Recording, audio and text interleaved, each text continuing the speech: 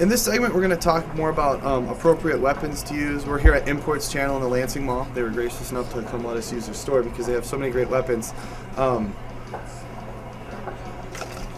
this samurai sword is a real, genuine samurai sword. The um, it's been heated and wrapped and warped, so uh, it won't break on contact. It's also good enough to slice off a head and and uh, ruin the, the brain. Um, if you want to go for something smaller, something around your house, we got this cold steel bad boy. This is a $600 weapon. It's a nice short range weapon, and uh, it's good for penetration of the brain. Yeah. Now, if you can't afford to buy one of these, don't settle for um, a weapon that will break because one it'll be a waste of money and two it'll be a waste of your life.